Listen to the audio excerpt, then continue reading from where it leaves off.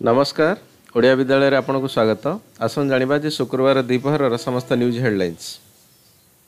ଆଉ ଯିବାକୁ ପଡ଼ିବ ନାହିଁ ରାଜ୍ୟ ବାହାରକୁ ଏଫ୍ଏସ୍ଏଲ୍ରେ ହୋଇପାରିବ layered voice test Odisha.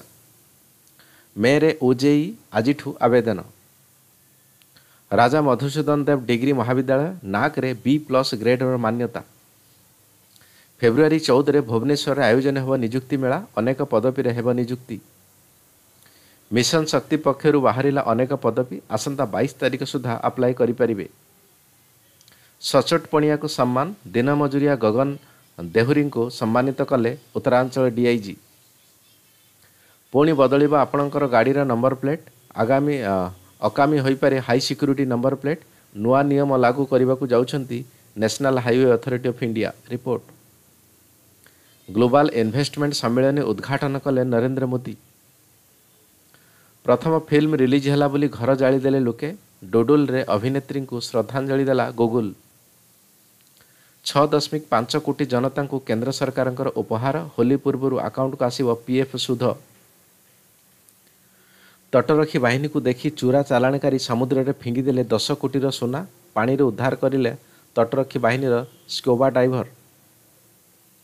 Adani ଓଏଲମାର ଗୋଦାମରେ ପହଞ୍ଚିଲେ ଜିଏସ୍ଟି ଟିମ୍। ହିଣ୍ଡେନବର୍ଗ ରିପୋର୍ଟ ଉପରେ ଆଜି ସୁପ୍ରିମକୋର୍ଟର ଶୁଣାଣି।